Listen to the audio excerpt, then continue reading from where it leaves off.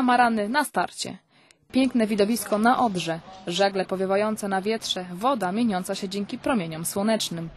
Weekend przy wałach Chrobrego upłynął pod znakiem Enea Baltic Sailing Cup. Organizatorem regat jest Fundacja Regaty Oceaniczne i V Promedia. Wystartowaliśmy ze Świnoujścia i pierwszy etap wiódł do Mielna, to prawie 130 km. Drugi etap był z Mielna do Ustki, trzeci z Ustki do Łeby. I potem zawodnicy zapakowali swoje jachty na przyczepy, przyjechaliśmy do Szczecina i mamy sobotę i niedzielę mieliśmy wyścigi w Szczecinie. Dzięki regatom połączone zostały jedne z najbardziej atrakcyjnych turystycznie nadmorskich miejscowości, a zakończenie w Szczecinie było doskonałym uwieńczeniem.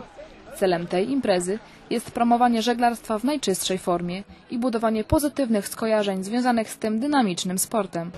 Poza tym ten wyścig doskonale wpisuje się w formułę nowej marki Szczecina. Mamy znowu wrócić do wody i to jedno z wydarzeń, takie, które podkreśla morskość Szczecina, jego zwrot w kierunku wody, e, jest oczywiście e, dużym przeżyciem, przede wszystkim chyba dla e, organizatorów, bowiem po raz pierwszy w Szczecinie mamy tego typu zawody. Weekendowe wyścigi były bardzo emocjonujące.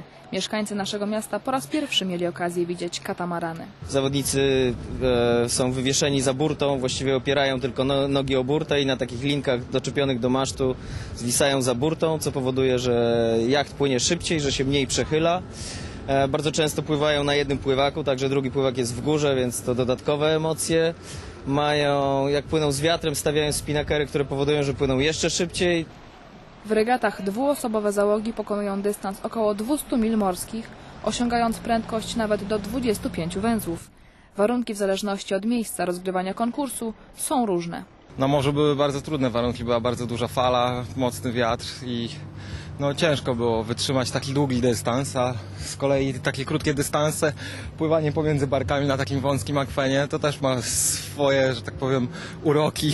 Właśnie przez te ciężkie warunki w Szczecinie wystartowało 8 z 16 załóg. W klasyfikacji generalnej po pięciu etapach zwyciężyli Coen de Kuning i Jeroen van Leuven.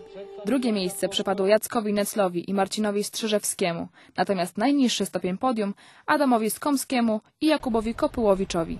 Zawody rozgrywane wśród białej floty są trudne, jednak zawodnicy chwalą sobie Odrę. Oh, it's cool. Really cool. Jest super, naprawdę super. To jest krótki dystans, wszystko może się wydarzyć. Trzeba bardzo uważać. To był bardzo emocjonujący wyścig, bardzo mi się podobało. It's, it's really cool racing. I like it here. Szczecin otwarty na morze prezentuje mieszkańcom coraz więcej wodnych imprez, które niestety nie zawsze przyciągają rzesze zainteresowanych. Jednak ci, którzy przyszli, chwalą sobie tego typu imprezy. Myślę, że tak, że, że po prostu to jest dobra e, impreza, żeby przyjść po prostu i nie siedzieć w domu, tak? Tylko jakoś e, czynnie spędzać czas. Katamaranowy spektakl zakończył się specjalnym wyścigiem, którego zwyciężczynią została pani Elżbieta Masojć, zastępca prezydenta. Piękne widowisko zachwyciło wszystkich obecnych, a organizatorzy nie mówią żegnajcie, a do zobaczenia.